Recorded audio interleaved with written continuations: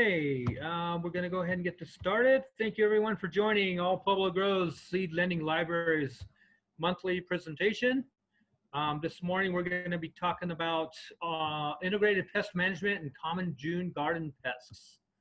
Please stand by. Launching the presentation.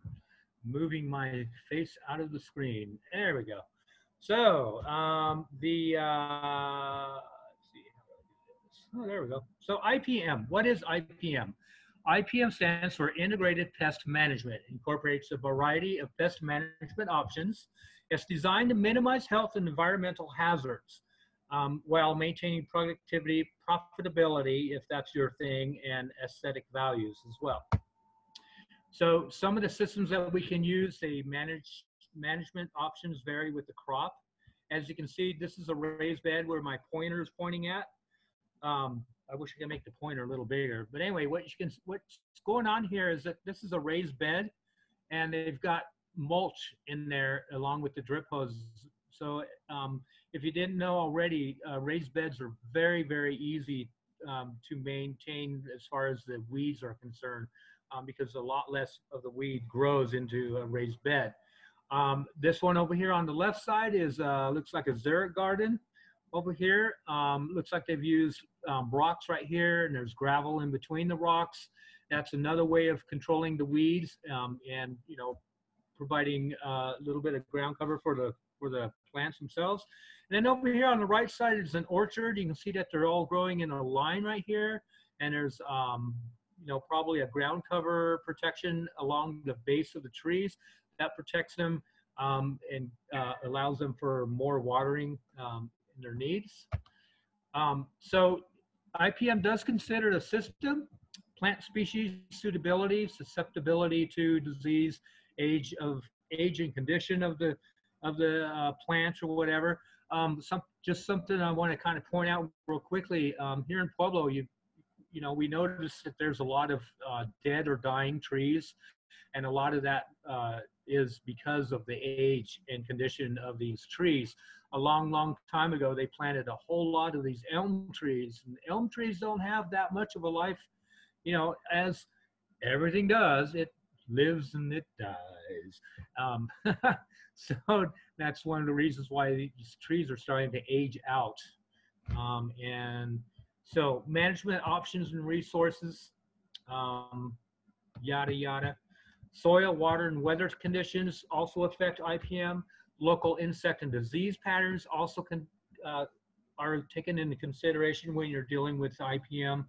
Um, for instance, the flea beetles, you know, we plant trap crops like radishes or whatever um, in order to control the local insects because um, they always show up at a specific time of the year and then we can plant those trap crops and deal with them that way. Uh, strategies. Um, there's cultural um, choices, um, for instance, different plant choices, um, planting and maintenance practices. Again, like those trap crops is a good um, way of uh, doing uh, plant choice control. Biological uh, natural predators um, like birds that eat the bugs, caterpillars, uh, even ladybugs that eat the aphids. That's a good biological control physical controls, um, use traps, barriers, hand picking the insects, maybe using a vacuum cleaner, um, you know, um, a bucket of soapy water, you pick them off of there and throw them in a bucket of water. Um, trying to do it that way. Non-chemical control options such as diatomaceous earth is a really good um, way to control. Chemical controls, in Colorado Gardens, only about 4% of the pest problems warrant the use of pesticides. So again, if you're if your go-to method is just chemical, um, you probably should reconsider that. Um, get in contact with your local extension office and maybe you want to you know find out another a different method a more natural method of dealing with that so you don't run into any problems. Um, the diagnostic process. So the first thing of course we want to do is we want to identify the plant because if you're trying to identify a problem with the wrong plant, you're going to come up with the wrong solution. That's kind of obvious. Um, identifying the problem, maybe more than one problem, maybe it's too much water on top of, you know, so then it causes the plant to turn yellow. Um, uh, what's that called, Cherie? Uh, chlorosis or something? Yes, yeah, chlorosis. Huh? Yes, that's correct. Chlorosis. Okay. Oh, wow, I got it right. Yay! so identifying the problem, there may be more than one. Like I was saying, if too much water, um, the plant will turn yellow, um, and so then it becomes more susceptible to um, different diseases or even fungus, um, any kind of a bacterial infection that it might get. Um, you want to evaluate if your management efforts are, are needed. Not every problem needs to be fixed. Some of them will fix themselves, especially um, taking into consideration, and I keep going back to this, the flea beetles. Flea beetles love to attack young and pra- practically every um, insect will do this as well. You know, just like we, we like um, young, tender, you know, plants to eat. They are so tasty, and so does the bug. You know, they also like tasty, tasty young um, foliage to eat. So if the plant is growing a little more than, you know, it's it's a little, you know, it's reached juvenile stage or even adult stage, then you know it's probably going to fix itself. So evaluate which methods will be most effective, its cost and time and the impact on the environment. For more information, you can always go to Pest Management from Boulder County Extension. Um, I can um, maybe copy that link address into your chat. Uh, if I can find my way over to, hey, Cherie, can you post that into the chat? I can't seem to get my thing back. Yes, these two links. Where's my thingy? Oh, hold on a second.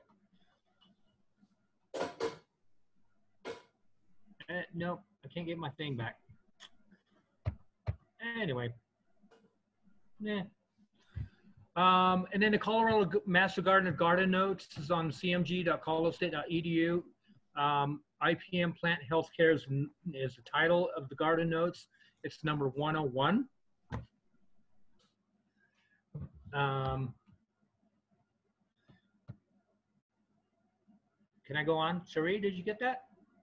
Yep, I'm going to get those posted in the chat. Go ahead and go on. All right, thank you. Um, common garden insect and disease problems in June. So this is the middle of June. It's almost the end of June. It's almost July 4th, actually. So these are some things that we really need to consider right now. Um, it did warm up really, really fast this year. And so now we're having to deal with some problems that kind of come on later in the year. Um, so plant disease can be caused by bacteria, fungus, and virus. All pathogens are host specific. Um, so if you're having one thing that affects one plant, it doesn't really necessarily affect another plant or another type of plant. Most insects are also host specific, such as the flea beetles. Again, I keep going back to that. Flea beetles have a very specific plant that they plant type that they go to. Um, squash bugs are another one that are host specific. They only feed on that specific plant. Um, a few are generous and will infest multiple species. There are not many though. But the insect life cycles drive the management decisions and insect feeding patterns help with the diagnosis control options because if you know what you're looking for, you'll know how to identify your pest and then you'll know how to control it. So one of several insects that feed on elm leaves. We were talking about elm leaves. Um, so the larvae do the most damage. Um, as you can see, the uh, leaves of, you and most of us have elm trees right now that look exactly like this. They have this yellowing pattern on here. And sometimes we'll see these flea beetles that come into the house and everything. I've gotten several calls already on the helpline, like, what is this? How do I deal with it? You know, so it's not really the beetle itself that's doing the damage. Over here on the right side, you'll see the larvae. And it, what it's doing is it's eating the underside of the leaf and then causing the uh, chlorophyll, um, yeah, chlorophyll, I guess, to be eaten away from the leaf, and that's what causes the yellowing. Beetles undergo complete metamorphosis. Elm leaf beetles overwinter as adults, so you can kind of see this on the bottom of this, of the diagram there. They overwinter as adults in protected locations, such as in the leaves and the sticks and branches, rocks, things like that in your garden. And then the ble beetles, the bleedles, the bleedles, they fly to trees with the emerging leaves and lay their eggs. the, um, the eggs will hatch and the larvae feed on the underside of the leaves, skeletonizing the tissue. Then they crawl to the base of the tree, pupate in the soils or folds in the bark. The adults will emerge and fly into the canopy. They mate and then they lay eggs and yada, yada, yada. It's the same thing over and over and over. There generally are two to three generations per year. So that's why it's always a problem. So one of the ways that we can deal with the elm leaf beetle is by using these, um, you know, it's basically saran wrap um, around a band of, uh, of the trunk and spray it with an insecticide such as uh, carbaryl, um, bifenthrin right there. Uh, let's see, uh, tempo, deltamethrin. Oh, these are neem oil is a really good natural one. Permethrins are also kind of, or you know, it's an okay one to use in an organic environment. Um, spinosad, um, also known as conserve. So the band the trunk with insecticides, previously noted, prior to the larvae moving to the bottom of the tree for pupation. Um, so obviously it doesn't doesn't prevent the first generation damage, and the reason why that is is because first you have to identify that that uh, insect is doing the damage, and then you're able to control it because you know by the time you identify and know what's going on, it's already too late for the first generation.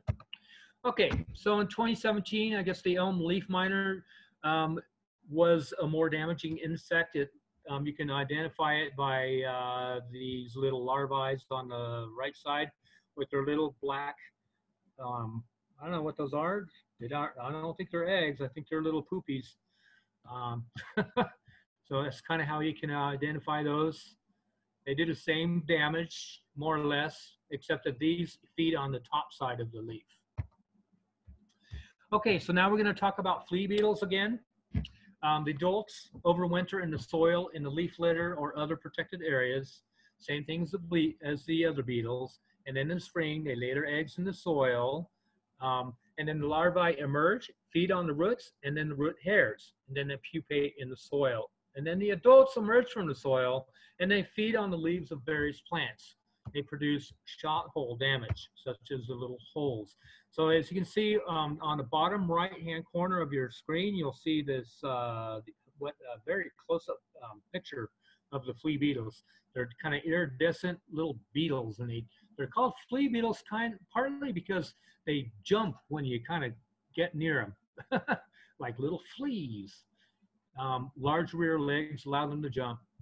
So they love the nightshade family, such as uh, tomatoes, potatoes, um, I think radishes and cabbages, and I know they love arugula. Um, they like the cabbage family, evening primrose, and others. Controls plant larger transplants because again, they like they like to feed on those really young, tender, delicious um, foliages. Um, high seeding rates, and then you can thin them. Plant radishes as a trap crop. Another thing that I've noticed that is uh, also a good trap crop is arugula. Um, I don't really like arugula a whole lot, but I plant the heck out of it just so I can control those flea beetles. Um, and then floating row covers, which is the, um, the picture you see down at the bottom left or bottom right, excuse me, with the white cover on there. You just kind of cover up your plants.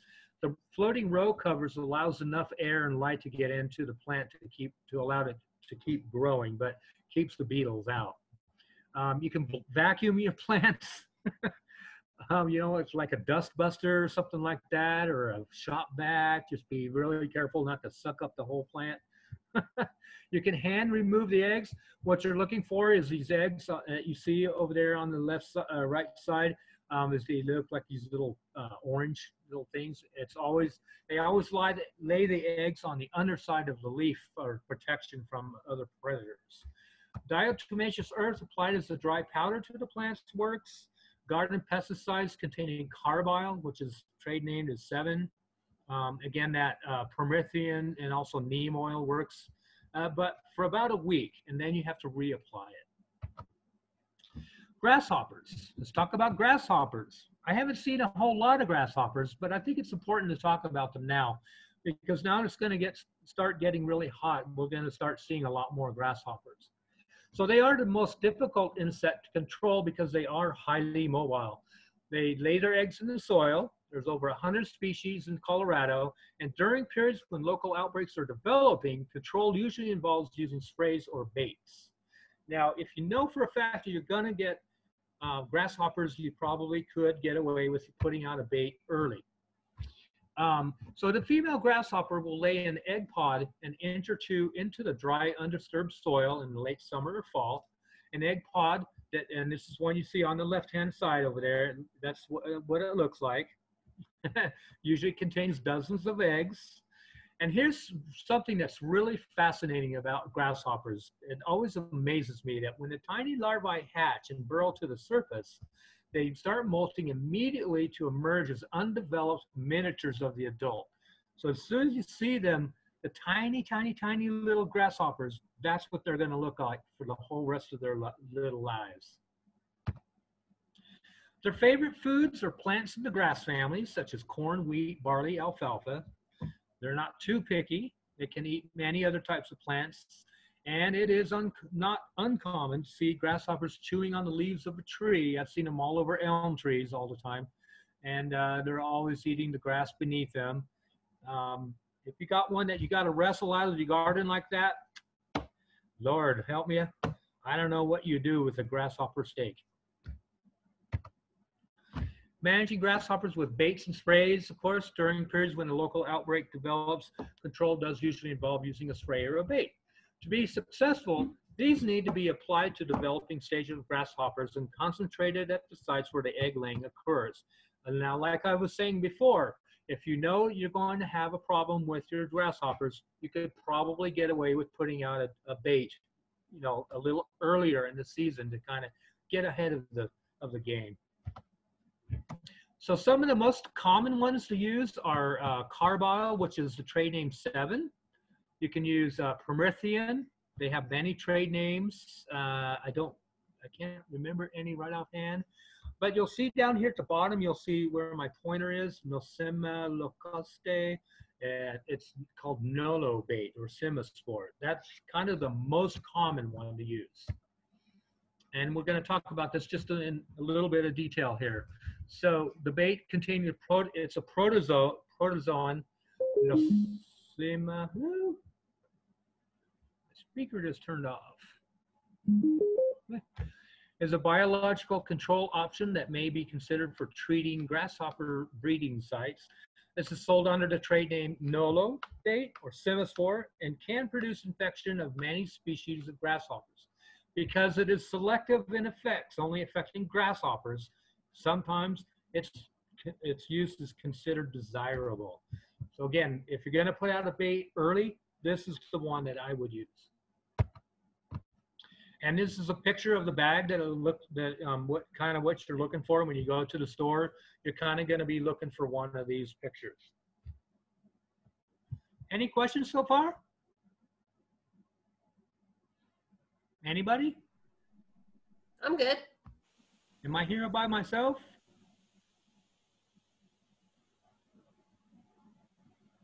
I'm still here, Derek. It's all good.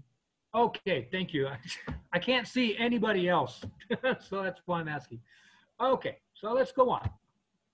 Um, so once the grasshoppers have reached the adult stage and migrations occur, some insecticides may be applied directly to the plants. Such applications have only a short effectiveness. Damage can occur before the individual grasshoppers are killed.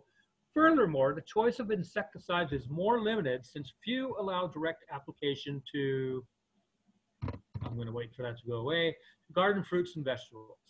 Okay. Any questions on the grasshoppers? Grasshopper, grasshopper. Somebody just dinged me. Hello. Uh, Sharon typed in the chat, um, do grasshoppers still get that big? I think I think these photos are doctored. yeah, these photos are, yeah, they are totally, would hope they don't get that big. No, these are just some fun photos that I found here and there all over the web. They just kind of make the presentation a little more interesting, that's all. but thanks for asking. okay, let's talk about squash bugs. So a lot of my squashes are starting to, you know, they got flowers now.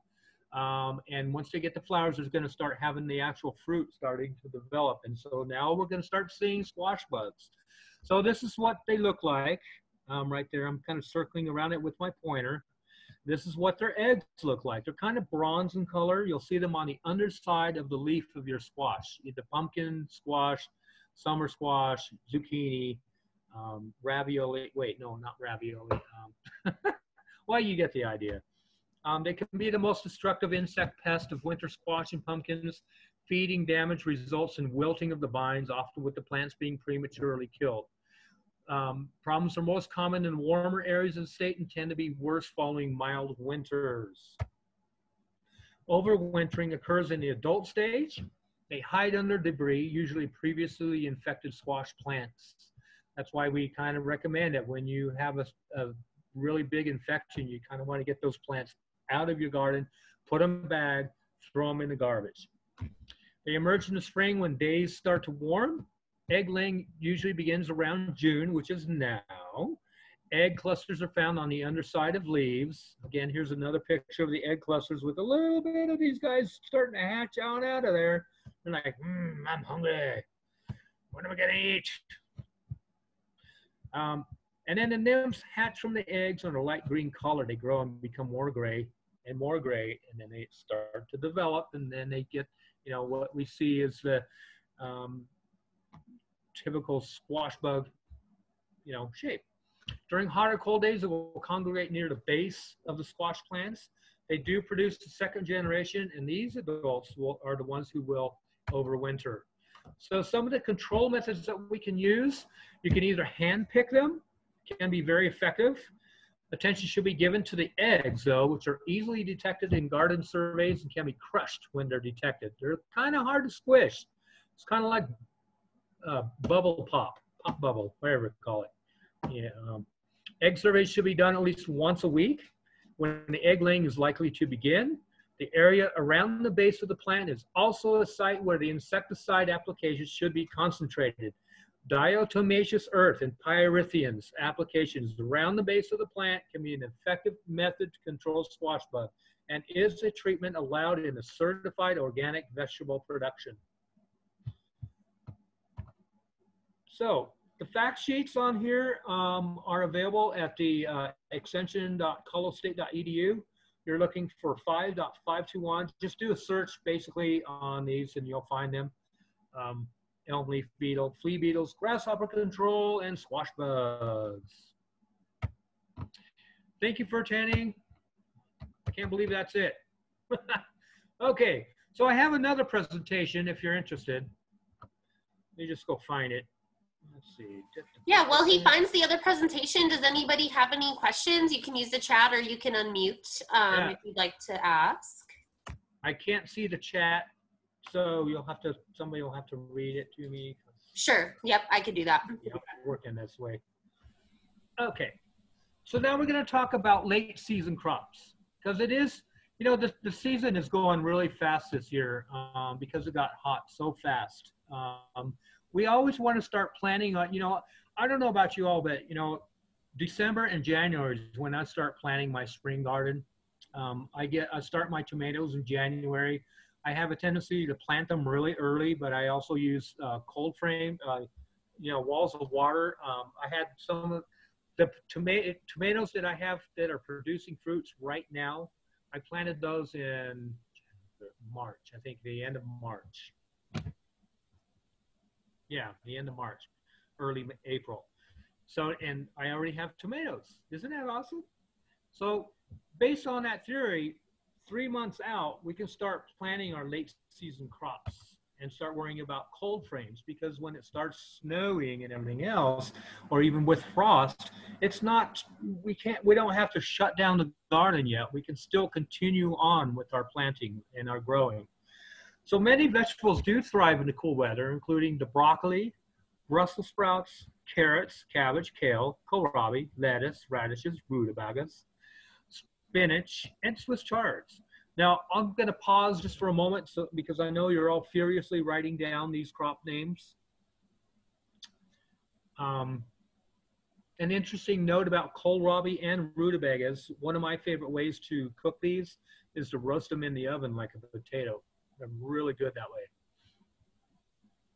Brussels sprouts are really good uh, roasted in a pan with some olive oil and some balsamic. Mm, making myself hungry over here. okay, I think we're ready to go on. So Pueblo, Colorado is in USDA hardiness zones 5B and 6A.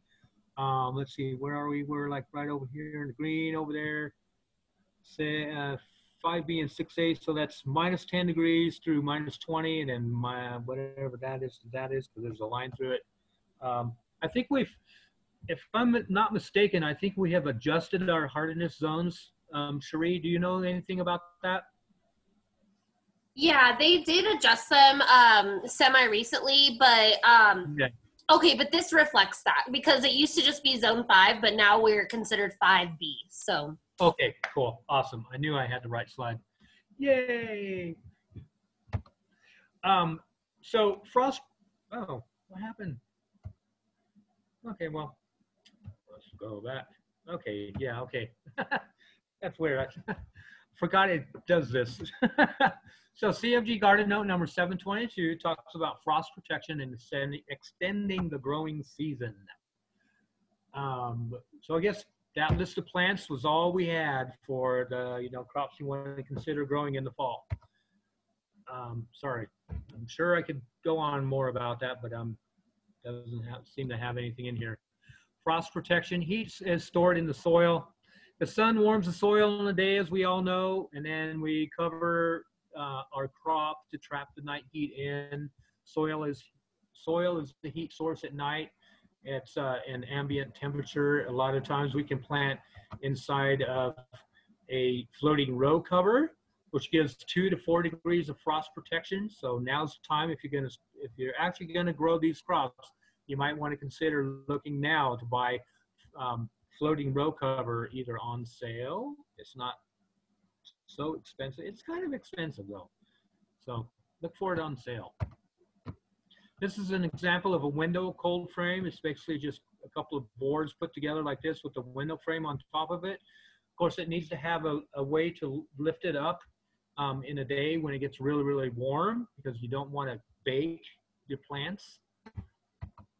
Um, this is an example of a T cold frame. So this is a stake planted in here and then um, basically plastic draped over the top of this thing here and it's got a little string right here um, to um, hold some of that away from the plant.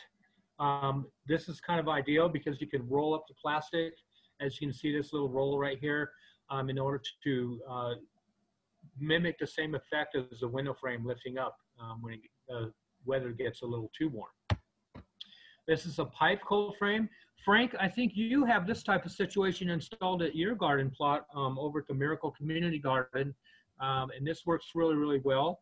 Um, uh, provides, and not only that, but you can also put hail shield over the top of this in order to, uh, to provide a little bit of, you know, protection from the hail from these crazy thunderstorms we get around here. Um, plastic cover on concrete mesh frame. The concrete mesh frame is um, very, very durable. You can get it at um, um, Big R, sells for about $25 a panel, um, and um, you can just cut it to your needs and just bend it and mold it into whatever shape that you want to put it in, and then you put the plastic wrap around it, um, and ta-da! There you go. There's your there's your thing. Your plastic got your plastic does need to be held up off the plants, or the plant will freeze where it's touched by the plastic because there's no insulation between the plant and the cold. In the daytime, you want to open at least a crack to prevent overheating, as I was saying previously. Um, plastic over mesh frame two to, provides two to six, two, two degrees to over six degrees of frost protection. It's great for cool season crops that tolerate some light frost. You do need to add two to six weeks on each end of the growing season for this to, you know, actually produce the crop that you're looking for. It's very poor though for warm season crops that are intolerant of a dip to 32 degrees. So again, you kind of want to plan your crops for when you're going to be doing a fall garden. Um, this is a type of um, situation here, plastic over mesh frame plus a space blanket. This is um, if you're at a really high elevation and it gets really, really cold really, really soon. Um, like we're, going to start seeing probably these temperatures um, that we'll, we'll need for this type of situation along about the middle of August or the end of September, middle September kind of area. Um, um, this example, I actually did one of these one time and it worked really super well. Um, plastic over the mesh frame with the Christmas lights. The Christmas lights will provide um, six, six degrees to over 18 degree, um, 18 degrees of frost protection. Um, we had, me and um, two friends of mine, we did this in our garden and we had lettuce all the way up to Christmas time. It was awesome. And you open that thing up and all the steam just comes rolling out of there in the middle of a snowstorm. It's pretty cool. Um, let me just go back to this real quickly. So it does say one string of 25 lights of C7 Christmas tree lights. Now, these are not the LED lights. These are the actual bulbs, you know, the old style uh, glass with a filament inside of it. Um, I'm not sure about the LEDs. I've had I've seen some people they've used a heat lamp, and uh, the heat lamp does tend to uh, cook the plant a little bit. What are you doing, Maggie? Um, so the Christmas light and the space blanket, it's a little overkill, but for some higher elevations, especially up in the snowy countries, uh, snowy, uh, you know, countryside, whatever thing, you're, you're really going to need this type of protection. Okay, so this is the type of situation that I use for my tomatoes every year. Um, again, like I was saying, I start my tomatoes in January, um, and uh, by you know February or whatever, I'm ready to actually plant these. February or March, the first part of March, I'm able to plant these in the ground using these walls of water, and they do provide a lot of protection against the cold, even when in the middle of a really heavy snowstorm particularly in Pueblo because the snow does tend to melt away really, really fast.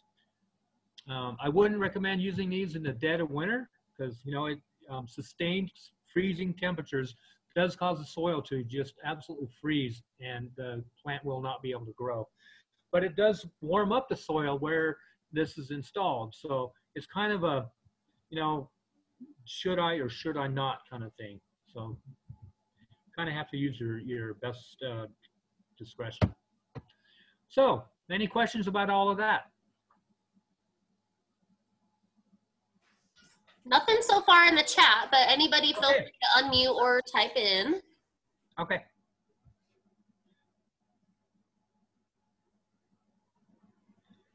Okay, so we do have a couple of questions from Jane. Jane, thank you very much for um, asking some questions from me. I do appreciate that immensely. Um, the first one I want to talk about, you had a question about um, ornamental grasses, um, you know, uh, propagating grasses, how to propagate. And the best answer I can give to you is um, one of the ways that you can do that is with, uh, you know, you put, um, you wait for the, uh, the tuft of the uh, grass to, um, I'm not sure if you can see this picture very well.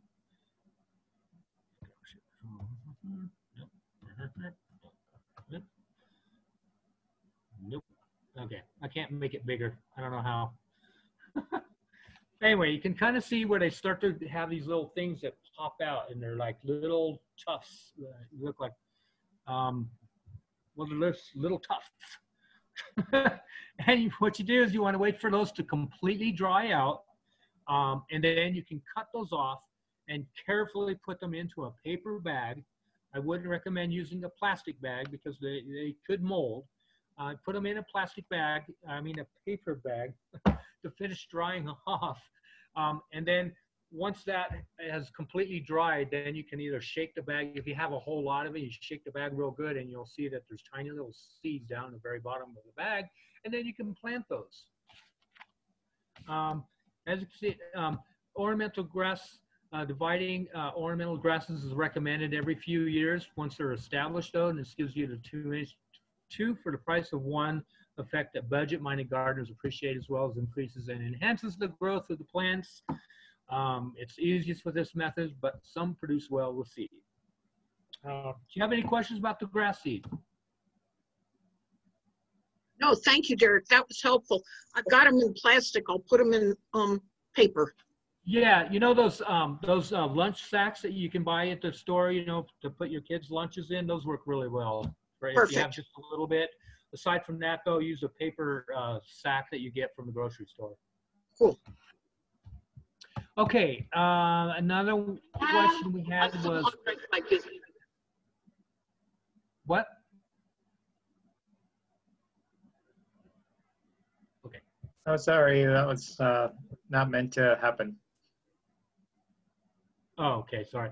Okay, so another question that Jane had was propagating yucca. Um, so we love to have yucca out in our plant, in our landscapes. They're very beautiful. By the way, I'm not sure if no, many of you know this, but the white flowers that the yucca will produce every once in a while, those are actually edible and they taste delicious if you chop them up and put them in your omelet in the morning for breakfast. Um, you can cut them by division, root cuttings, stem cuttings, and seeds. Stems and offsets can be cut, the bottom few inches stripped of leaves, and the cuttings planted and treated gently until they root. So basically, what you want to do is you want to dig a nice hole in there, maybe put some uh, fertilizer that's good for cactus or whatever down in the bottom of the hole, um, and then cover that up real well, and then water it real good. You know, about a month or so, and then hopefully it'll start to it'll take root. Um, you can also collect the seeds and plant them out, but be patient because they are very slow to sprout. If you want to speed up the process, you can. Um, you can. Um, my recommendation on that is to um, plant them indoors um, in your seed trays or whatever, but you'll need to have it in a very high, hot, humid, humid, humidity environment. humid environment. Still learning how to speak. so, um, yeah, they are very easy. I mean, I have a couple growing out in my landscape right now that I rescued from the uh, from the park out there at the Pueblo Park. Um, they were just laying along the uh, along the, the trail that I found one day, and I picked them up, brought them home, planted them, and poof, there they are. It did take a while though. It took a good two years for it to finally, you know, start turning green and everything. So you, again, you got to be patient. Lots of water. Thank you, Derek. That's helpful. Thanks. Yeah. We have a question in the chat, Derek, about how do you, how do you apply diatomaceous earth? Do you want to handle that one? Oh, yeah, absolutely. The diatomaceous earth. Um, so the diatomaceous earth, you just want to sprinkle it along the base of the plant, and um, if you can, apply it to the to the bottom side of the leaf, but it doesn't typically stay. So you just want to kind of you know powder. It, it is a powder. They do make um, applicators that you can buy at the at the store um, for diatomaceous earth and other powdered um, pesticides that you can use. And it works really well in that to just kind of get a little pump action going in there to kind of poof it all over the plant. But basically, and if you don't have that, that's fine. You just want to kind of put it all over the ground or along the base of the plants. Um, you can also sprinkle it, sprinkle it on top of the leaves. That's fine. The plant will grow just fine, um, just like that. Um, doesn't hurt it at all. Um, you may have to reapply it about, eh, I don't know, maybe once a week, you know, every two weeks, something like that, just to kind of get your uh, squash bugs under control. Or flea beetles, or any kind of beetle. Okay, so let's um, let's move on from the yucca, and now, and now, oh come on you. Okay, my computer is no longer responding to my needs. Come on, come on, there you go. Jeez. Okay, propagating chollas or walking sticks. So the propagation of these cacti, just like any other cacti, can be propagated by division of its stems. So um, basically, like you know, like um, the big paddle, the big ones that have the big paddles on them, you can take the paddles off, and it wherever it separated from its mother plant, you can just kind of stick that into the ground, and after a while, it just kind of roots and it takes off, and whoop, you got a new plant, just like that. Um, which is accomplished naturally by dropping them from the limbs of the plant. If you choose to manually propagate, sever the stems and replant them in sandy, dry soil, making sure not to damage them too much in the process. It's really that simple, folks. You just drop it in the ground and it grows. Cool. Thank you, Um, Derek. That is easy. Sorry, what? Thank you. I was just saying it sounds easy. Yep. Yes, it is very easy. very, very easy. Um, you can go out in the desert a lot of times and you can get one plant, one of those chollas, especially when they're flowering. It's a really good time um, to, you know, uh, get those little buds that you can see in this picture right here. Those little buds right there um, are, well, not that bud. There, that one right there on the right hand side. That little flower right there um, is the part that you kind of want to, um, is a really good part to snap off of there and bring them home and plant them, mostly because they're not prickly. Uh, but failing that, you can also take the entire um, leg off of that and plant the whole thing in the ground and it'll grow. It will grow. Okie dokie. Artichoke. Okay, Derek, in the chat, um, tips for growing a few plant- plants if you have any. Uh, Brussels sprouts, lettuce, and okra. Sure. Um, I do have a tip for the okra. Um, so my friend Christina showed me this tip the other day, and um, I can attest it's already working. Um, so what I did, what what she told me to do, and what I did do, is I I um, put the seeds in a glass of water overnight, and then um, you know soak them in the water overnight, um, and then I put them in a paper towel on a plate in a warm area um, and I covered it over with saran wrap for two days. And after those two days, they started to sprout their little roots. And then I took those seeds out and put them in the ground. You only need to put them in just like half an inch, um, maybe less. Um, and they're um, within, I think it's only been a week, they're already starting to show. So that's one way to planting the okra. Another way to growing the okra is you want to, you know, if you're trying to get a good early start, of course, you want to grow them indoors, plant them indoors. Um, it also prevents uh, against um, some of the other um, pests. I'm trying to think of one, like, I'm not sure the flea beetles like those. But anyway, that's one of the ways that you can grow the okra. What was the other one? Let's see. It was um, Brussels sprouts and lettuce. Um, lettuce. Um, I'm going to address the lettuce thing first. So the lettuce, what I've done in the past is I just take a big. Um, so I went to like Fox's, and I got um, I got like four different kinds of lettuce seed, right? And I put it in a bowl. I kind of mixed it up and everything, and then I just throw it out there in my garden and just fly, be free, grow for me, kind of thing. Well, what ended up happening was that my lettuce crop started getting way out of control. I had a lot more lettuce than I knew what to do with. Um, so um, I kind of just let that crop go to seed, and then I collected the seed and everything. And then, you know, over the last four or five years or so, I've kind of more or less developed my own seed, you know, blend or whatever. Um, it's you know, it's my blend and it grows in my soil and my garden. That's why we save our seeds. Um, and so um, this year I did something a little different. This year I actually went to the effort and I planted little rows about, uh, let's see, about six inches apart. And I put the seeds in there, you know, and I, I actually did the whole thing you're supposed to do for once.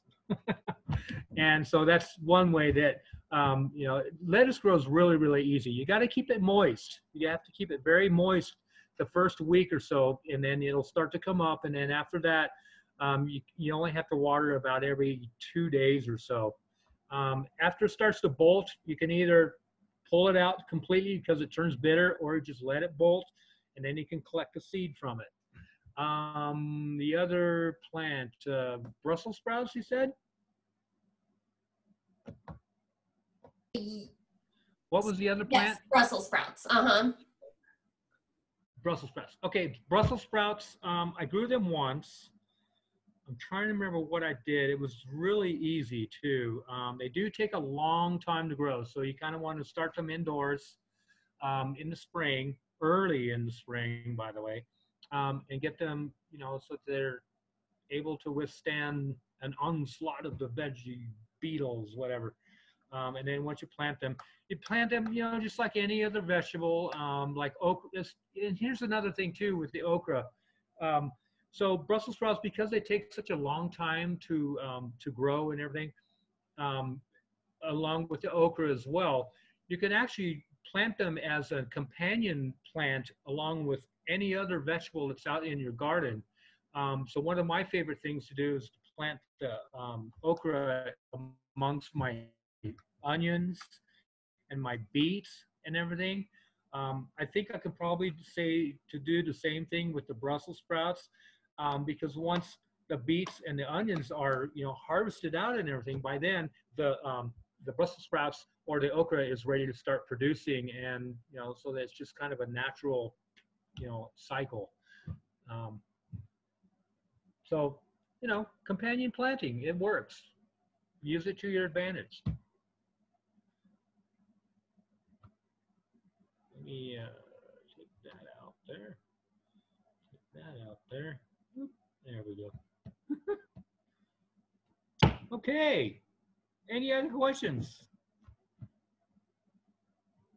Um, yes, somebody wanted to know when will if, will there be a meeting about collecting seeds and best practices to have viable seeds for next year. So I was just trying to look up the schedule because yes, we do have a that Yes. coming up, um, and I just need to see what month that is, really quick.